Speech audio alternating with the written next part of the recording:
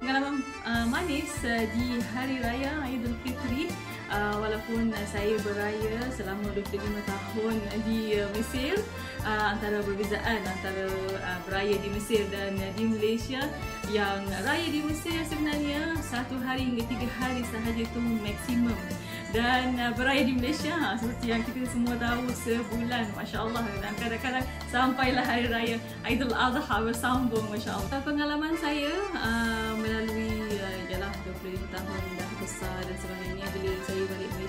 sebenarnya tak pelik juga sebab uh, uh, bapa saya Allahyarham Haji Dasman uh, dulu pun membawa budaya Malaysia ke Mesir. Maknanya bila kita di Hari Raya Aidilfitri uh, bapa juga akan bawa kami walaupun kecil-kecil uh, kita akan pergi solat uh, di lapangan uh, bersama uh, semua ahli hai atau ahli qarya di sana.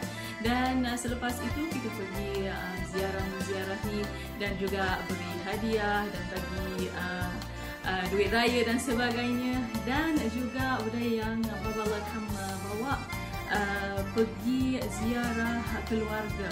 Seperti mana yang berlaku di Malaysia uh, bapa saya juga bawa kami pergi ziarah di mana-mana keluarga yang sebelah mak saya. Kita akan pergi ziarah menziarahi. Dan antara yang uh, kuih atau uh, yang kita tengok kat sini kuih muih memang uh, banyak sangat tapi kat Mesir ada satu jenis atau dua jenis sahaja yang uh, kita boleh makan uh, pada pagi itu. Dan juga ada beberapa makanan uh, seperti uh, adalah satu makanan yang kita buat dengan uh, daging dan juga roti uh, namanya rokak. Dan ada juga uh, kuihnya uh, kah ke dan uh, pitipur dan sebagainya. Adalah kalau orang yang duduk di Mesir uh, itu mungkin itu antara yang kita makan pada pagi raya.